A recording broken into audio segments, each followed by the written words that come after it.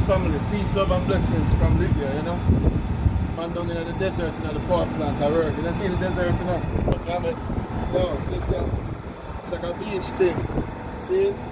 Man not, man not celebrate beast bus, you know. It's a regular day for me, see? So today we have the dance control system. I'm on site and I'm doing an inspection of the power plant. They have six generators here. GTG, Waukesha gas gens, MTU, diesel, diesel, see?